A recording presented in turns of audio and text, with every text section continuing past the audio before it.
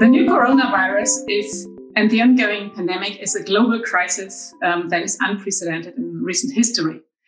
It is affects many countries or basically every country in the world and many citizens. And it affects all areas um, in public and private life, as we can see right now.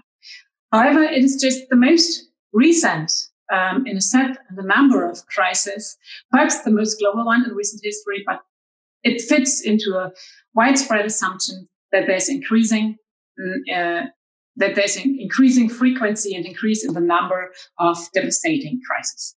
So think of um, the terrorist attacks on September 11th, of those in Paris, Brussels, or Berlin. Think of the earthquakes in Haiti or Nepal, the triple disaster in Fukushima, the global financial crisis, the euro crisis, or perhaps the migration crisis in 2015. That is just to name a few crises that, however, have stuck in the minds of many. If empirically correct or not, there is this widespread assumption that there are more crises and that they are more devastating and that more crisis management is actually needed. As researchers, um, we also see at the same time, however, that there is this widespread assumption that crises do increase in number uh, and intensity, but we also see that particularly in the global north, we are less and less willing uh, uh, to accept or tolerate crisis.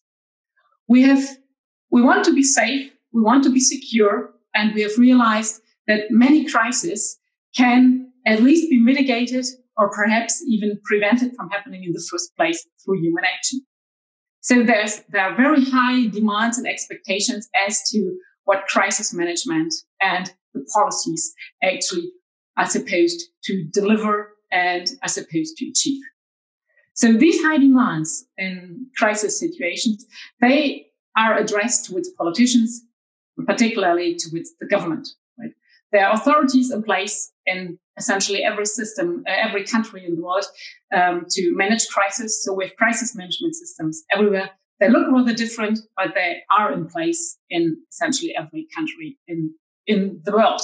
And what people expect from governments then to do is to keep the to control the situation, to keep it under control or to regain control, and to mitigate harm and damage and losses as good as possible, um, so to speak, and to prevent also, of course, further harm and damage um, from happening. At the same time, uh, this intensity maybe also contributes or makes crisis management ultimately highly political. Politicians are assessed as either good or bad uh, crisis managers. It's not so easy to say what makes a politician a good or bad crisis manager or crisis leader. However, we can, we ask or we wonder ourselves, do they succeed in preventing or mitigating the harm? Do they succeed in reducing the number of potential losses? Do they find appropriate answers? Are they able to communicate their answers? Are they able to find consensus and support for what they, for their policy um, responses. So crisis management and the success or how we evaluate and assess crisis management and the success of crisis management depends on the one hand on what you could call objective measures. Is there a reduction of harm and losses? But on the other hand, it also depends on cultural and political interpretations of a situation. So what is considered an appropriate response also depends on the political and administrative culture on established state society relations and past crisis experience. And most often, those answers and policy responses are somewhat controversial and contested because of conflicting interests, diverse political preference, and ideologies. This is what makes crisis management an ultimately very political task, in particular in a concrete crisis response situation. A crisis uh, essentially is about threat, uncertainty, and high time pressure. Very often, when a crisis unfolds, we don't know what happens and how it will unfold. Um, we don't, it's difficult to really assess the situation. Um, we have no data or the data is uncertain and the intensity and the urgency is also puts us under, or the crisis leaders, crisis managers under additional um, pressure. And the first, what a crisis, what is essential to a crisis is that it's a threat that, that, or a hazard that threatens an important system or structure um, under such a pressure that we that we have reasons to assume that it uh, cannot uh, that it will not function anymore or that it will be interrupted or it's threatened in their further existence and continuity. We've always had crises and disasters right? So crisis management and research in crisis management also often speaks interchangeably of crisis and disasters. So we've always had earthquakes volcanoes uh, that were erupting um, but also pandemics but what is particular about the crisis that we've seen over the last two decades, roughly speaking, is that they are increasingly transboundary. So they cross-cut the boundaries of the nation state. They spread rapidly. And that is, of course, related to the interconnectedness of contemporary society. So socialization, but also globalization, but also digitalization, technological change makes uh, or enables uh, certain threats to spread way more rapidly than they used to. This would also in turn require coordinated responses, transboundary crisis management, but that is particularly difficult. Crisis management is challenging in the first place, and when it's supposed to to to, to travel uh, across the borders of nation state, that is what makes it that is particularly difficult um, because with all kinds of economic and power differentials in place, different types of crisis interpretation, different sets of data and information, different state traditions on how to respond, and different institutional systems that are enacted. And coordinating this is a major task, which is hugely challenging to political leaders. Overall, we have this model. It's called uh, the, the crisis management cycle, where we think about uh, where we think about crisis in a temporal perspective.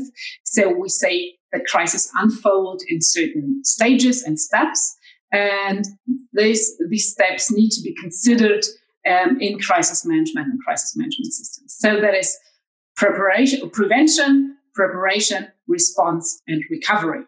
Right?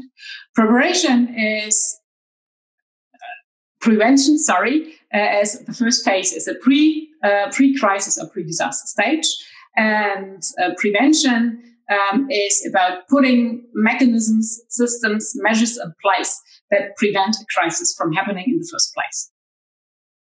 That is politically often not very attractive um, because you know you would put measures in place, but you don't know if and how and in what intensity, intensity crisis will ever develop.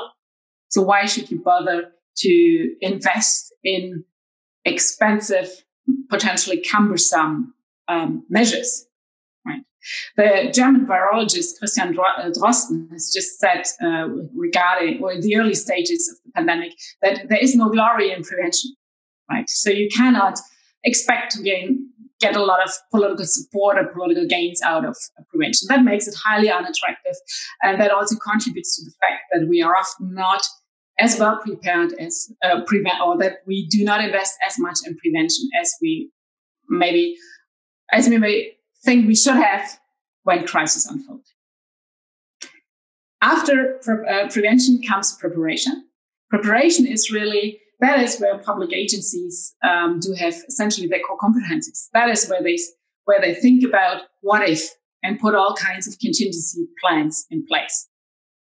So can be a, play, a plan for a pandemic. It can be something about um, fire protection, all kinds of plans that um, you are able to enact when uh, when a crisis hits or when you are hit by a crisis.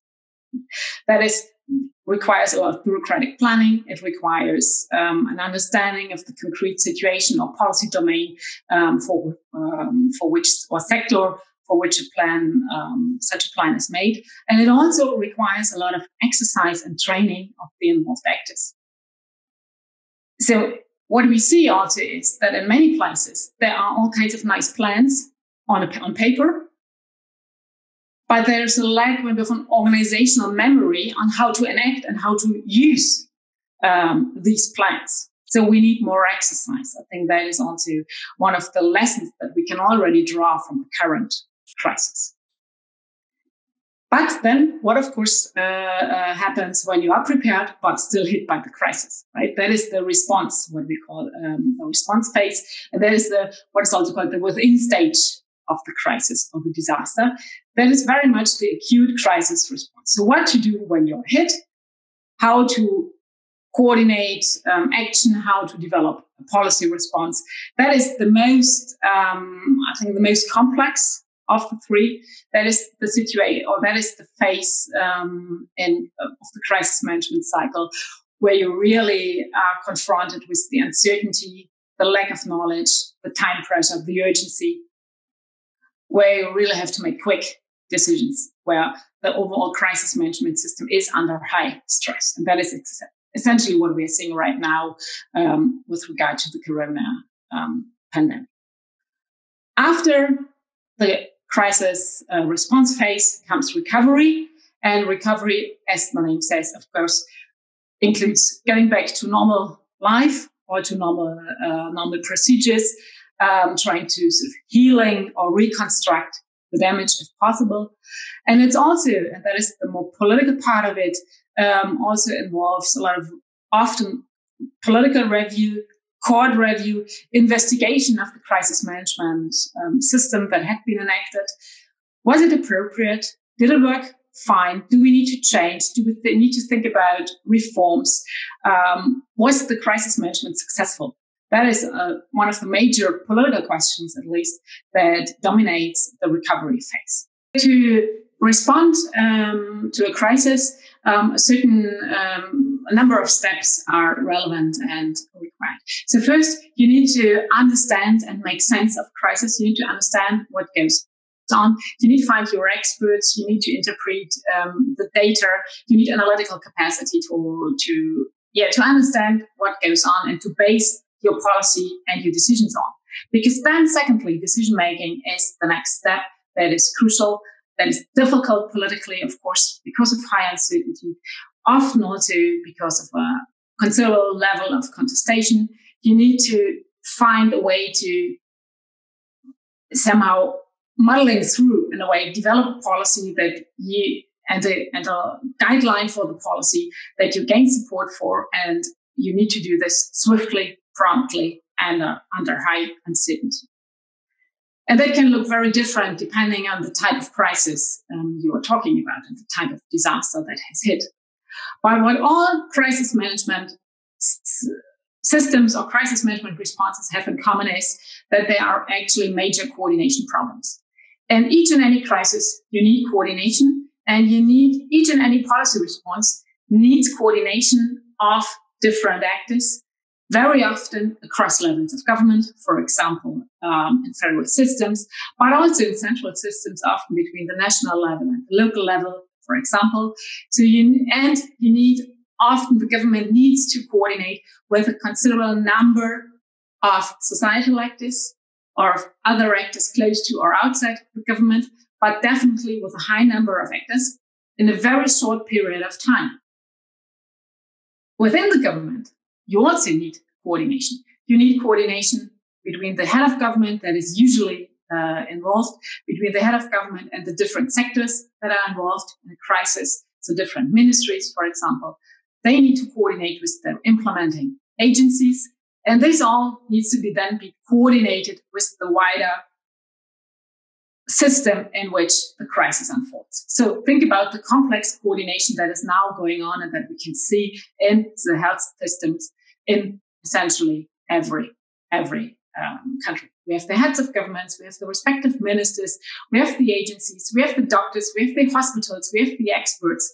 All this needs to be coordinated. And very essentially, you can distinguish between two types of um, crisis coordination, uh, or two types of or how to organize crisis coordination. Many, many people argue that centralization is the preferred approach to organize a crisis response. Centralized, centralized crisis management allows you to put, to establish hierarchy as the core governance mechanisms. And it allows you, that is at least the idea of hierarchy or of a centralized system, that you have one actor on the top and that is in full control of the overall situation and of all actors that are involved. However, and many people think that centralization responds best to urgency and uncertainty. You control, you try to get as much control as possible, and that is what you do centralization and hierarchy. However, you would also find other um, authors or observers saying, well, let's rather think about crisis management as a decentralized system. We often have we have this, for example, in many federal systems as well, where we have a decentralized crisis system, crisis management system. And what is the advantage here? The advantage is, of course, that it allows us to find solutions or implementation, the implementation of solutions that are very close to the local circumstances and the local situation. And then also is uh, decentralized systems are better able or find it easier, uh, at least, to integrate different views and different perspectives and different sets of actors at the same time. And so you can discuss it but centralization is often what's, what people call for in situation of crisis. I'm not convinced that this is the always best and perfect solution. Um, I rather think what is what is what is key here is that the crisis management somehow fits the institutional system of political system, that it fits the political and administrative culture and traditions that are in place, that it fits established state society relations.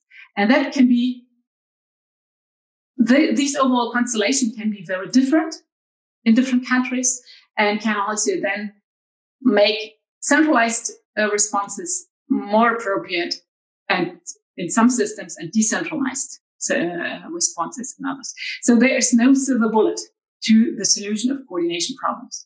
You still have coordination. Uh, you still have coordination work to do, no matter if you centralize or if you decentralize.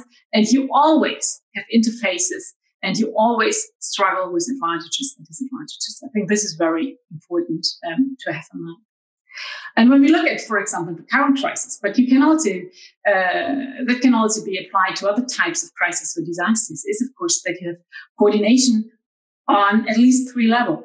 You need political coordination, so the political top needs to gain support for their preferred uh, crisis response among, for example, within the government coalition, always in the federal system, for example. So they need to coordinate at the highest political level and find support. Secondly, you need the coordination of strategy. What do we really do? Whom do we get uh, involved? What are the ministers to turn to? What are the public uh, public agencies to be involved? What are the core problems we need to address in very many different respects. So the coordination of strategy is important. And then thirdly, uh, at least also as important is the coordination of the implementation. You need organizational structures in place that coordinate the concrete implementation of your policy response. That is why we see all these task forces, right, that try to make sense of what goes on and try to realize and implement um, all the measures that have been um, that have been taken, and they are often also um, written down in um, contingency contingency plans or protocols. So you need the coordination of the concrete um, policy response. That is very um, important to get your response to the ground, as we say, right?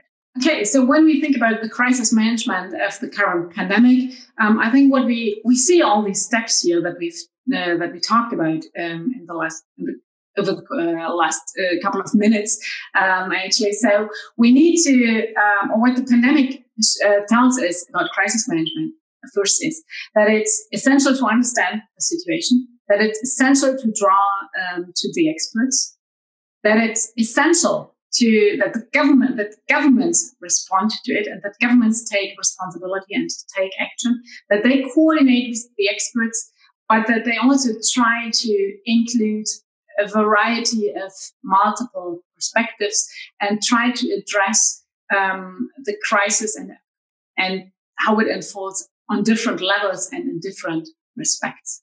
I think what we can also see from this crisis is that there is not one way of great crisis management.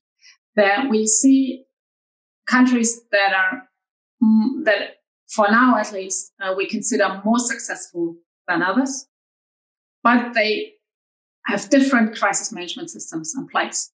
And what is important is, I think, that to be aware of that first, in times of crisis, that all attention is sort of spot on on the government. Government needs to respond, but they need to do it in a way that fits the institutionalized expectations um, and the institutionalized procedures and operations of their administrative and political systems.